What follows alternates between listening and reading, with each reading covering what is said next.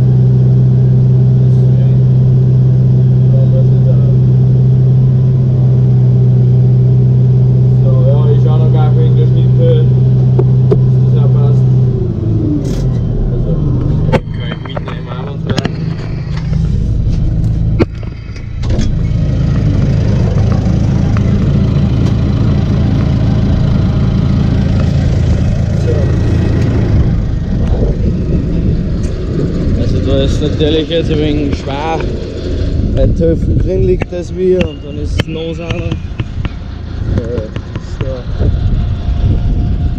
Na, da bin ich auch noch viel hoch, ja. Super, der Preis eigentlich ist.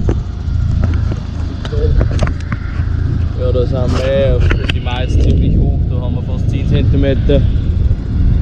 Und da ziehe ich jetzt den Oberlenken noch ein wenig weil es halbwegs zurücksteht. Dann müssen das auch passen. Genau.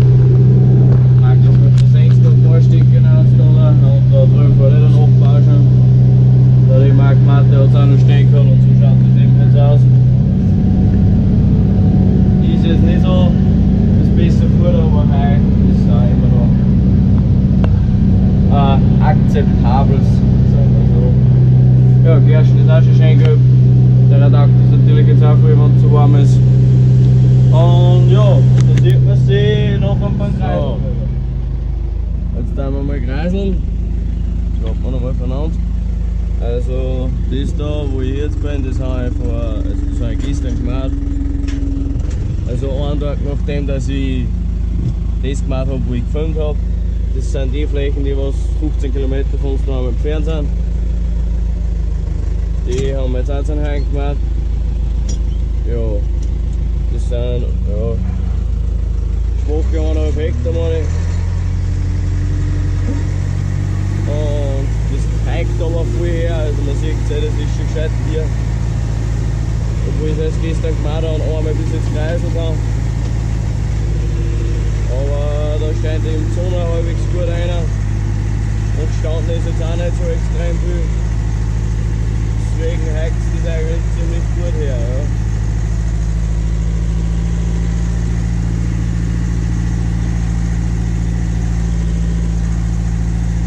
Ja, das daheim, das äh, ich weiß nicht, ob ich also wie ich das gefilmt habe, beim Mann, was ich da gesagt habe, ich weiß jetzt nicht mehr, aber das kann man wahrscheinlich jetzt Baderbeim machen, das möchten wir mal probieren. Das wurde 3, 4 Hektar. Ähm, ja, einfach mal probieren, das da werden wir Rundbeim machen. Ja. Lose brauchen wir eigentlich eh nichts, weil unser Heilbahn nicht noch so viel ist. Mein Papa ein wenig über Rimming, weil das Lose zeigt auch mir gar nicht. Also ich da viel über alles pressen, ganze Heu und Strah. Aber man kann sich so nicht aussuchen. Das letzte Wort hat trotzdem immer noch der Papa. Das hilft nicht.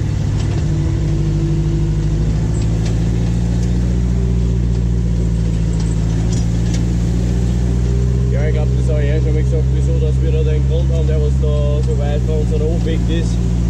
Ähm, also mein Opa, der kommt eben von den Ort, der was da gleich ist, und das war eben so ein Bahnhäusl. Und da waren eben die paar Hektar da dabei, also zwei Hektar Wiese und zwei Hektar Förl und was nicht, fünf Hektar Holz, glaube ich, oder so. Und das haben wir eben trotzdem jetzt noch, also das bewirtschaften wir noch. Aber wir führen es eben alles an, der Hof, der ist vermietet. Also da wohnt wer drin. Ja. Genau. Und da haben wir eben ja, zwei, dreimal im Jahr heim und dann vielleicht noch ein Silo bauen. Da wir eigentlich nicht. Das liegt da halbwegs hoch, also da sind wir auf einer Seehöhe ich weiß nicht, gut 800 Meter. Ja. Ja, im Kreisel da ist da mit 365 mit unserer Bündinger 9.69 ist das glaube ich. Haben wir auch schon ewig. Aber macht immer noch größere Test. Ja, ich meine, ja. Was zu ihnen recht viel beim Kreisel heuer, weil ja, voll einfach das dran.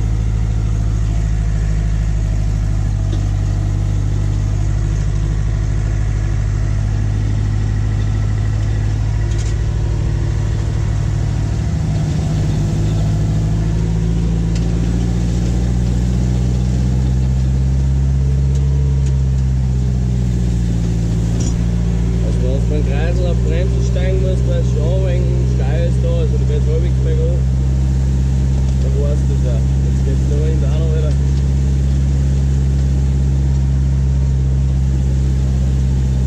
Das Kreisel ist eben dazu da, dass die Halme aufnehmen vom Boden, durchmischt sozusagen, eben da zusammenhaut und wieder schön gerade auflegt, dass eben Luft reinmacht, ähm, dass eben triggert und eben auch bei den ersten ein, zwei Mal noch, dass die Halme so ein wenig knickt, dass Feuchtigkeit rausgeht, dass dem aufliegt. Das, ja.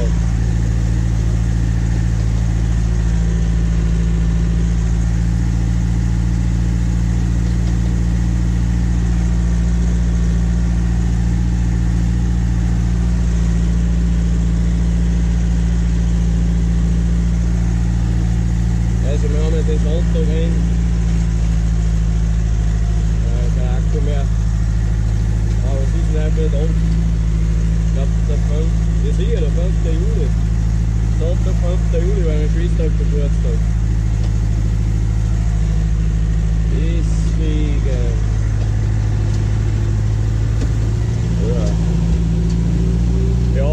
Kreisen geht es nicht so genau her.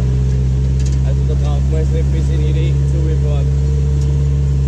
Wir dann eben dann auch noch aufhängen, das zeige ich euch dann näher, was das ist und wie das funktioniert.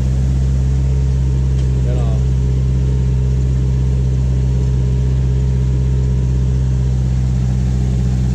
Ja, einer hat mir einmal aufgefahren. Ich bin schon wieder.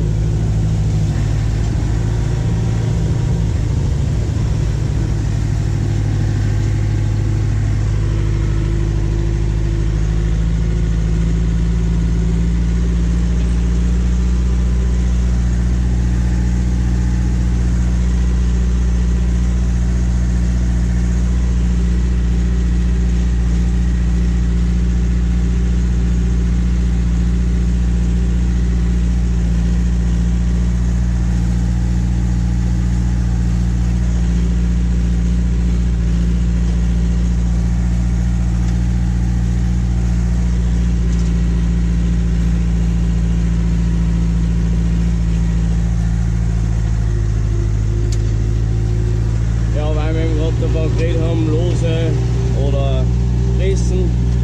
Da könnt ihr eigentlich mal gerne in die Kommentare schreiben, wie es ist, das macht. Äh, da mich auch mal interessieren, wie eben da meine Zuschauer das machen. Also wir dann eben, also wir haben einen Heibund, da haben wir eben auch auf. Äh, eben Stra und Hai. Und da dann wir den Rest haben wir noch fressen. Aber wir kämen eigentlich mit der Straßen selten aus. Es kauft eigentlich auch immer was zu, da kauft man meistens eben Quaderballen zu, also die Großbackenballen. Ja, also mir war es immer mal lieber, wenn wir da alles essen. Ganze Hai und Stra. Weil ja, einfach alleine von Lagern, das taugt mir schon mal viel mehr. Und wir müssen halt auch, also wir haben keinen Heigran oder so. Wir müssen äh, alles den Gebläse rein tun, also aufblasen. Und das ist ja schon heute noch äh, halbwegs viel Haken auch.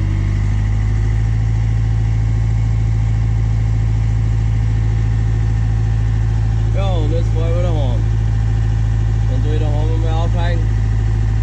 Und dann fahre ich wahrscheinlich noch raus und dann tue ich da auch noch aufhängen. Passt. So, ich bin jetzt wieder da auf dieser Fläche angelangt. Mit dem Sim und mit dem Schwader dem Ja, also es ist eigentlich schon schön hier jetzt nach dem bisschen Ling, was es jetzt hat, aber man sieht, die Wolken sind schon viel da. Aber Carsten hat sich ein guter Bauer wascht sein Futter. Und ich meine, das wird wahrscheinlich morgen so werden, weil wir werden es jetzt nicht mehr weg tun. Äh, ich tue jetzt das aufhängen, dass zumindest nicht da liegt. Das war zumindest so in meinem Verstand so ein wenig logisch, dass es eben so ein wenig zusammenliegt, dass das Wasser nicht so viel anmag. Äh, weil morgen muss es trotzdem ja, 2 Liter, aber eigentlich ja, zu 50 Prozent. Also wahrscheinlich kommt eh nichts. Aber trotzdem, wir werden es jetzt wahrscheinlich erst am Mittwoch pressen. Heute haben wir am Sonntag. Morgen wird wahrscheinlich gar nichts dienen und wir werden es Morgen nicht kreiseln oder was. Dienstag nochmal kreiseln, dann auf die Spart wahrscheinlich schwadern. Und dann Mittwoch, Mittag, nachdem dass ich von der Schule heimkomme, äh, werden wir es dann pressen. Da haben wir eben Quaderballen und da machen wir Rundballen. Ich denke, dass das so ja, 10 Rundballen werden. Ja, eigentlich so gut wie nichts. Aber müssen wir trotzdem mit mit für immer mit dem Spitz rausfahren und mit dem Ballenwagen von Nachbar. Genau. Ja, aber weiteres, ob das dann wirklich so wird oder ob es morgen volle Herzen schiftet, dann haben wir es da nicht. Das wird es dann sehen und ich werde es auch erst sehen. Weil ich muss eben auch morgen wieder in die Schule und der Papa eben auch wegen Jagdkurs. Äh, deswegen ist eigentlich eh keiner daheim. Der Papa tut jetzt daheim aufhängen mit dem 365 und mit dem Glasschwader und ich eben mit denen. Ich lasse dann den Schwader auch gleich heraus, ich fahre dann leere heim und morgen dann, oder übermorgen, nicht mit dem Kreisel raus, dass der schon heraussteht, sein Schwader. Genau, ja, ich mache das jetzt einmal ein weiteres Sechster. Ja, ich bin jetzt da wieder herin in dem Fall, also in der Wiese. Ähm, draußen ist halt schon viele. Und jetzt tue ich da aufhängen. Aufhängen hat den sein, dass das Gras, das was unten drin ist, das was halt eingeführt ist sozusagen, äh, sowohl ich mit dem Kreisleier oder beim Mann drüber gefahren bin, so dass es halt reingedruckt hat, dass ich das raushole und auch eben da auflege. Ähm, ja, ich habe jetzt ein Ding oben bei, also Spotttürke, weil die Halterung da ist. Und jetzt druckt es immer so im Boden rein. Und irgendwie schaut das nicht so gesund aus. Deswegen habe ich es jetzt einfach aufgetan. Macht halt jetzt keine schönen Malen, aber in dem Fall ist es wurscht, weil es sowieso jetzt morgen oder übermorgen wieder äh, sehr streut wird.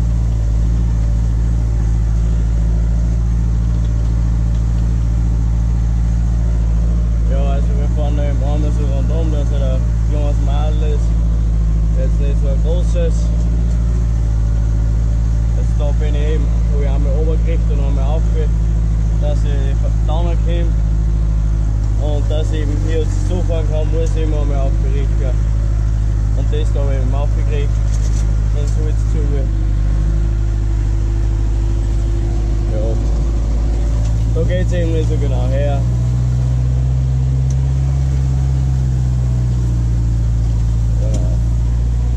Autofahrt mal zu seinen Bahnen. Also ich finde es da halt am gescheitern, du fährst einfach lauter Kurven, äh, weil es einfach schneller geht und auch fürs Kreiseln ist dann am einfacher. Also es geht genau aus, dass drei so drehen, da wische ich genau meinen Kreisler. Deswegen schaue ich mir, dass ich drei halbwegs gleich mache und dann kann man eins wieder ein wenig anders machen, das ist nicht so schlimm also dann wieder drei. Also zum Beispiel da jetzt das dritte mache ich noch Ecker und dann schaue ich, dass ich rund fahre. Obwohl es eigentlich wurscht war, ich glaube da fahre ich jetzt dann auch noch Ecker. Ja. Eben, ich weiß nicht, ob man das auf der Kamera sieht, aber da hat es jetzt ziemlich was ausgerissen, äh, weil es da im Dringling ist, ist Futter. Und das kann ich so jetzt dann noch dickern. Das ist halt der Vorteil von dem Ganzen. Das heißt eben bei uns aufheigen, wenn man das tut.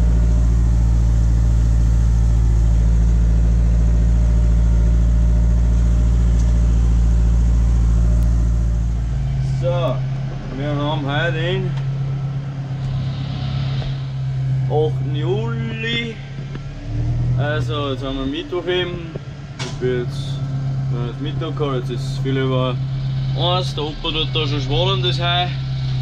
Und ich hole jetzt im Ballenwagen, also den Tiervater von unserem Nachbar und vor allem da aus, das was da 15 km weg ist, das äh, holen wir dann gleich mit dem Ballenwagen.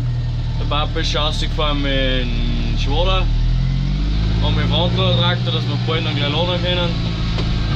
Und ich hole mir jetzt im Ballenwagen und fahre raus. Ja, am Vormittag war mein Traktor in der Schule, also wir waren eigentlich ziemlich die ganze Klasse von uns, weil ich meinen Abschluss jetzt habe in der Landwirtschaftsschule. Ähm, den habe ich eben jetzt gehabt. Und jetzt sind wir alle mit dem Traktor ausgefahren, da kann ich jetzt mal gar keine Szene einblenden.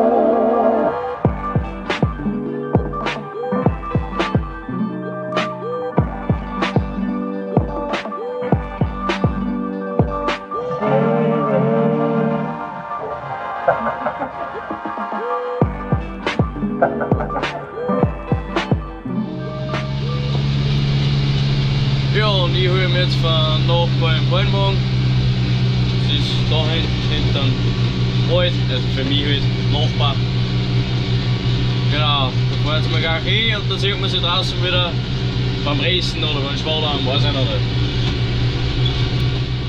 So, ich bin jetzt raus, der Papa tut das schon schwadern.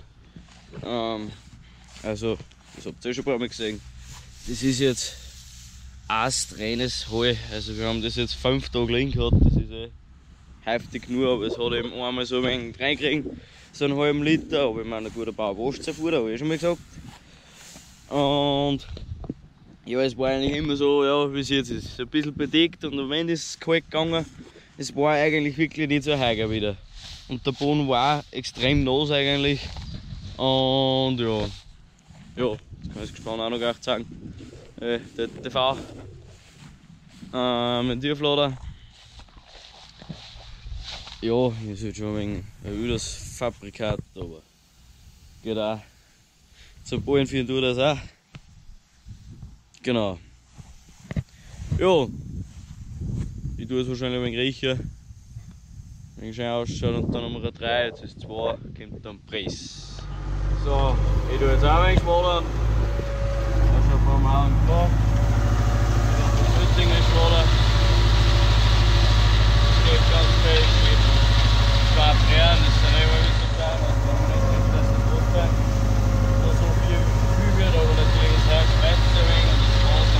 ein wenig zusammen. Äh, so ein bisschen gefahren, weil es eben oben zu drin liegen ist, dass es so rauskommt. Ja. Da mal dann noch zwei Quermal, aber dass wir das oben nicht wieder zu haben, sind wir das jetzt. So,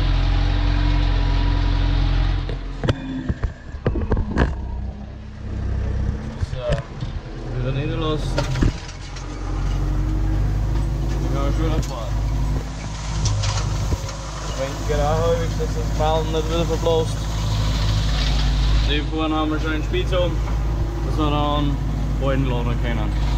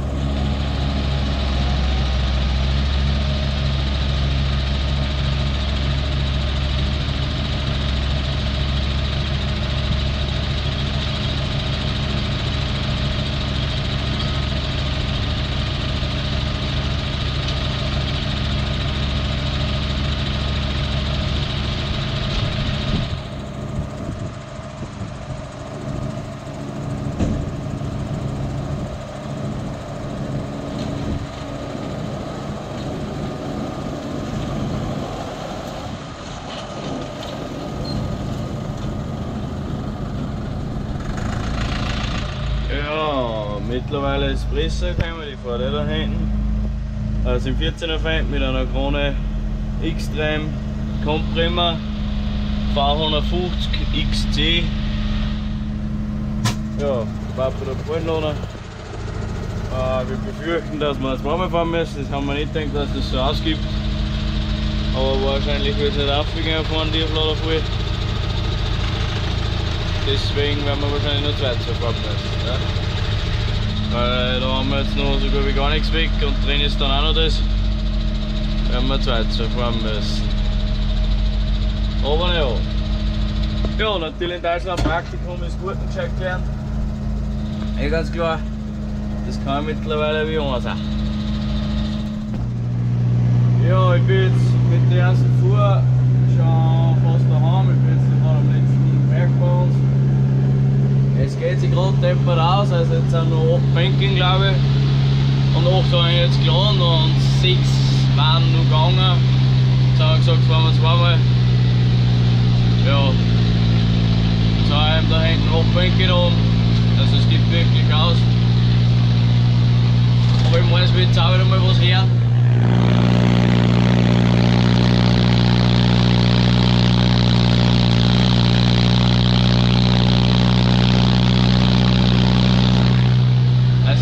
Liegt wirklich so geil auf der Straße, also mit dem kannst du ohne Probleme 55 km/h fahren.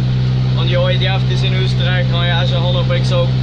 Bei uns gibt es halt da einen Traktorführerschein in F und mit dem kannst du alles bis 40 Tonnen und 50 km/h fahren. Genau. Ja, das ist eh schon unser Hof.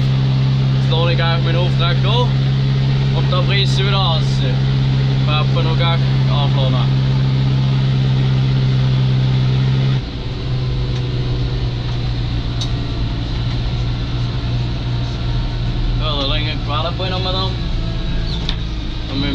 Daheim haben wir Quaderbein gemacht. Traktor daheim. Mal aufmachen, so mit einer Hand. Ich schaffe es. Klingt doch aber eigentlich kein Bedarf.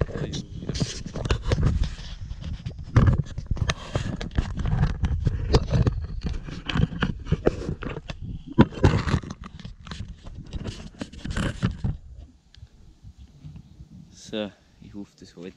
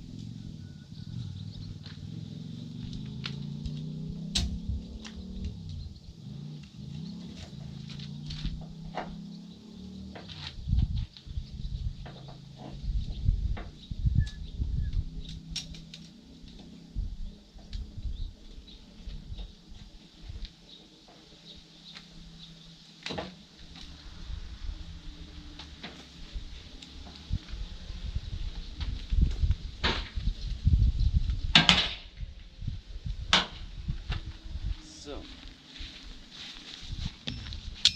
Dann. Ja, wir laden jetzt da am Quaderballen gleich noch einen Wagen auf, dass ich dann noch schlichten kann. Ähm, ja, genau. Das ist eben eh direkt von aus die Wies.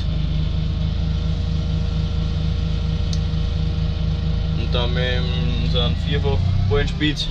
Oder wir jetzt dann am Hoftraktor auch noch sehen.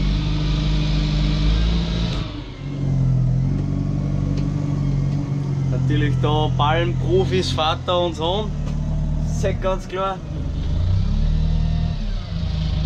Aber ich glaube, dass mein Hoftrag sogar als Lohner schöner gegangen, aber der Papa traut ihm nicht. Fahrt lieber mit dem Füße immer, ja.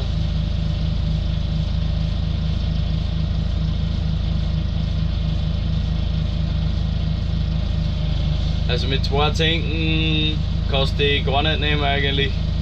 Die sind ziemlich wach. Das sind ja 26 Ballen da waren von den Flicki.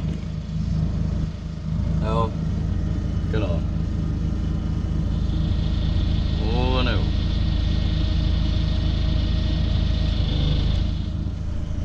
Ja. Du noch noch in Loch, du gell?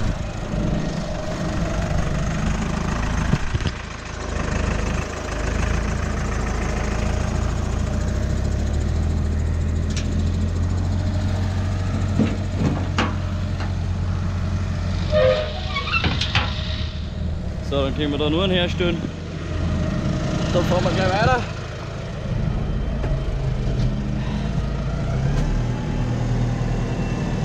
Ja, wir haben eben eigentlich, also wir haben noch nie Heimquaderballen gemacht, das ist heuer das erste Mal.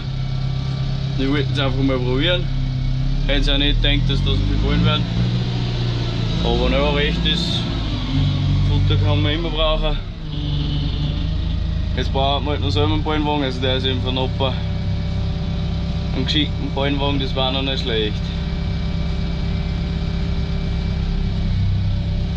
So, ich habe jetzt da mal die ersten dran.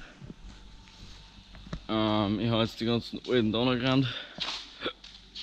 Äh, dass wir die frischen zustellen und dann die ödern vor dabei hin.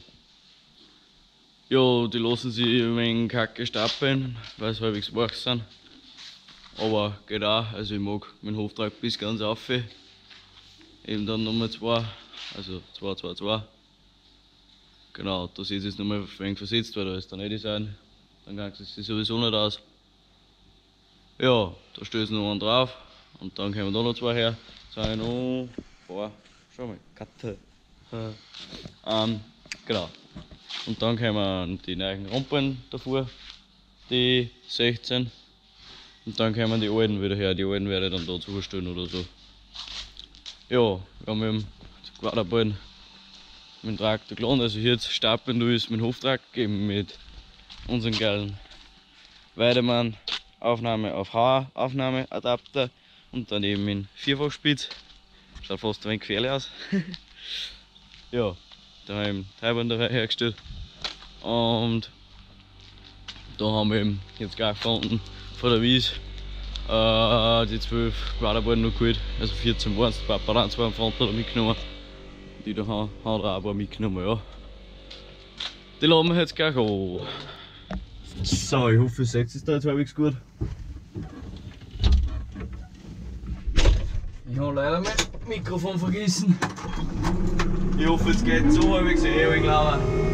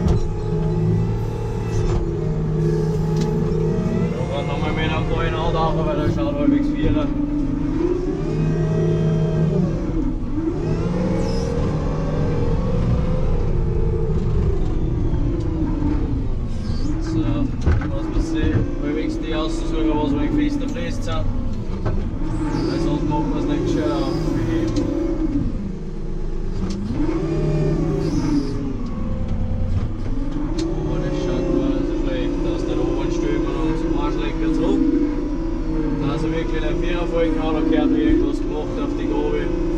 So zwei so stehen, dass wirklich nicht, äh, dass wirklich nicht zurückfallen kann, weil das ist schon fast ein wenig gefährlich, ja.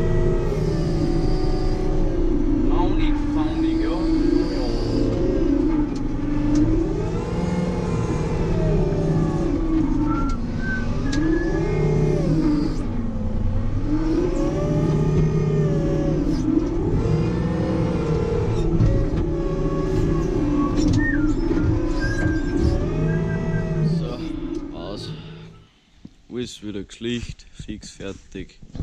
Da stehen jetzt die ganzen alten Ballen. Da ist Grammer zusammengeschlicht und da eben ist Heu. Quaderballen, ich hätte zuerst 6 übereinander gehabt. Aber da hat es ein kleines Fauxpas gegeben. Aber das sagt wahrscheinlich eh die Outtakes dann. Ende des Jahres. Ja, genau. Und dann habe ich da noch Trompen aufgeschlicht. Schaut ein wenig aus wie ein Landwirtschaftssimulator, ist ein wenig übereinander, aber es hält. Es hängt alles zu, also es hängt nichts dran, dass da runterfeuert. Schaut auf jeden Fall gut aus. Aber wir haben echt nicht gedacht, dass das so ausgibt. Also eigentlich haben wir genug Heu für den Rest von Jahr. Bis nächstes Jahr kommen wir mal jetzt sicher aus. Noch ein wenig Graumateigen und dann eben Stra kommt auch bald. Mal schauen, wo wir das hinstellen. Ja, genau. So, dann war es das aber auch mit dem Farmvlog. Wohl, glaube ich, halbwegs lang jetzt und ziemlich vielseitig. Ich jetzt dann den Ballenwagen noch zurück. Und der Ballengabe hat auch noch eingestellt. Und ja, schaut auf jeden Fall gut aus. Da haben wir so zwei Futterstrohballen. Da ist auch noch einer. Und das ist eben eh ein Stra, Stra. Ja, genau. Dann war's das jetzt mit dem Vlog. Ich möchte Danke sagen fürs Zuschauen und bis zum nächsten Mal. Für euch.